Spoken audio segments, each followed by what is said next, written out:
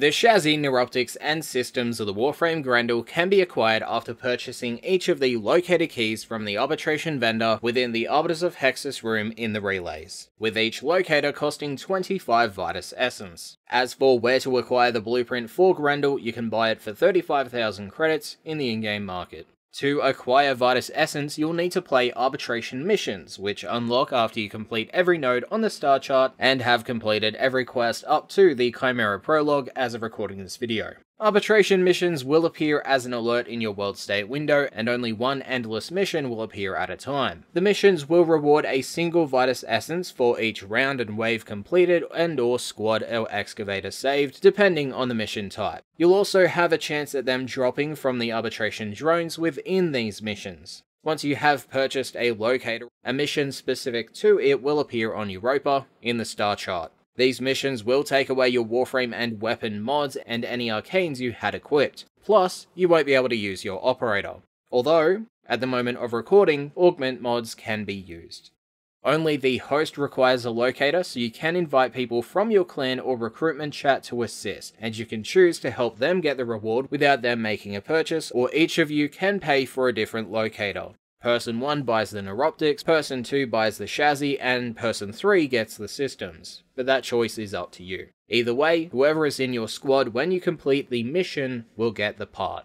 Each mission will be against the Corpus and they'll be level 40 to 45, and once you complete a mission, you'll be rewarded with the blueprint for whatever part was tied to the mission you ran, as well as the members in your squad. The Neuroptics Locator grants Grendel's Neuroptics after you complete the revealed 20 minute survival mission. The Chassis Locator grants Grendel's Chassis after you complete the 15 wave defense mission, and the Systems Locator grants the Systems of Grendel once you complete the 800 Cryotic Excavation mission. If you fail any of these missions, don't fret, as you can replay the missions until you complete them. At the point where you successfully complete a mission, both the locator and node will be removed from the star chart and your inventory, but once again, you are guaranteed the part's blueprint upon success. If you wish to play the missions after you acquire a part, you will have to purchase the locator again from the arbitration vendor. Before I continue, it is also important to note that these missions, based on the developer comments, seem to be designed for groups and teams. So if you are a solo player, this will be extremely painful to complete, especially the defense or excavation missions. But from testing and community comments, it is still possible, just time consuming and will require a lot of trial and error. The following tips and setups were shared by viewers and are for solo and team play. As mentioned before in the video, you can request help from players in your clan or recruitment chat if need be, as only the host needs the locator. One of the most popular weapon suggestions was that players use Syndicate weapons that grant energy upon build-up. Syndicate weapons that grant that bonus are Red Veil, aka the Rakta variant, and Cephalon Suda, aka the Synoid weapon variant. Others had also suggested the use of the Haruto or Karuto melee weapons, as they can regenerate health upon critical hit. Hammer melee weapons were also highly suggested as they are great for slam damage and heavy slam damage. The Arca Titron was mentioned the most alongside the Wolf Sledge for that weapon type if you own them. For the survival mission, I highly suggest attempting to kill whatever you can and holding off using the life support towers until you get to about 10 to 20% of the life support, and once at that point you use the towers to bring you back up to 60 to 70% and repeat that process. For defense missions, if the pod loses enough health, you can let it heal itself by leaving or distracting an enemy so it attacks you instead of the pod. I found that the attack drone seemed to be the best unit to leave alive for the healing process as it did not target the pod. This process will take some time if your pod was critically damaged and it will be your only option when playing solo. The best point to do this seems to be every 5 waves.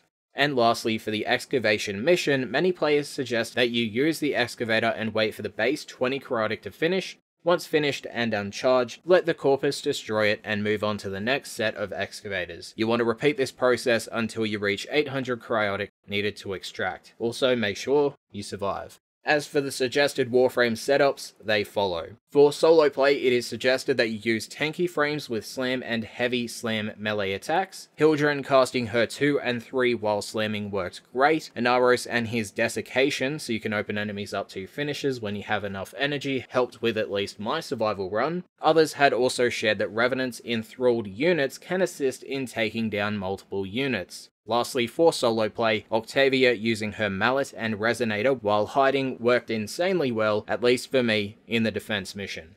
I casted and watched the duo kill everything for the defense mission while grabbing energy during the round transitions. The only thing to note is that you will have to watch out for nullifiers by popping them with your weapon, bursts near the end of the mission run, and of course, your own health, as you are quite weak as Octavia.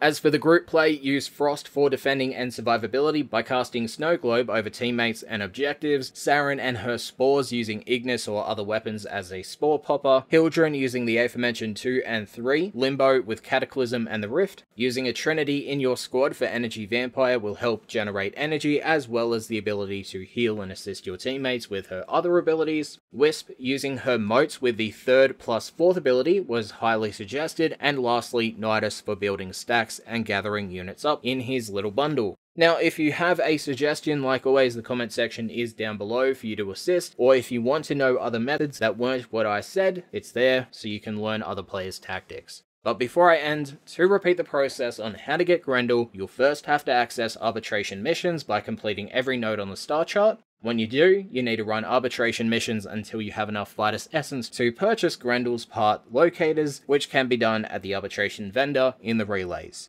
There are three locators, with each costing 25 Vitus Essence. Once you have a locator, they reveal missions on Europa, and these missions will remain active even if you fail within said missions until you successfully complete them. When you complete one of these missions, you'll be granted the part for Grendel based on the mission that you ran. These missions will also disable the use of Warframe and weapon mods, arcanes, and your operator.